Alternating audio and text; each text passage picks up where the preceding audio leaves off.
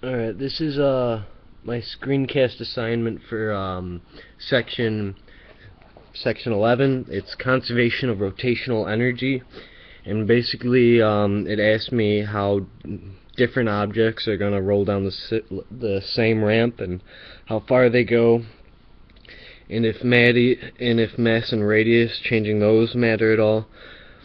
So basically the general principle equation is mgh which is potential equals 1 half mv squared plus 1 half iw squared. And this is um, linear and this is for rotational. So basically you just plug in you plug in I for each of the four different um, objects asked to find and then you realize after plug and chug through these equations that mass and radius don't matter because they just cancel out and the only thing that really matters is the height and they're all at the same height on the ramp and I is the only really thing that matters. So the one that goes the farthest a solid sphere here and it's got a velocity of the square root of 10 over 7 times GH and if you were to plug in say 1 for the height that would uh, for each of these it would give you 1.4 so that that is the highest velocity. Second highest velocity is the hollow sphere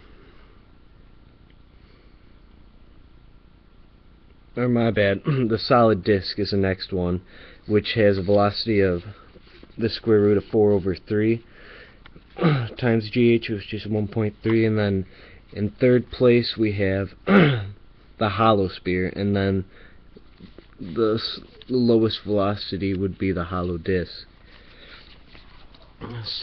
So, like I was saying before, through plug and chug, you're able to get rid of mass and radius, and the only thing that matters is basically the I, the moment of inertia, and the height. so, since they're all the same height, only I matters, and I guess I'll conclude by saying the solid sphere goes the farthest solid objects have a greater let me see if I'm right by saying that real quick have a greater moment of inertia. Let's see if I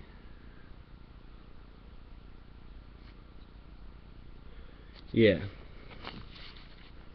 Alright